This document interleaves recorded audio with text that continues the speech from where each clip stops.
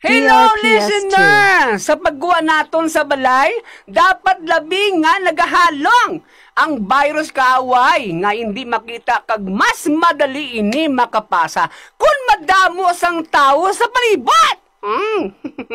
Gani, o galion nga magpaniguro magsuksok sang mas DRPS2. kag magpanginaw sang kamat. Mm.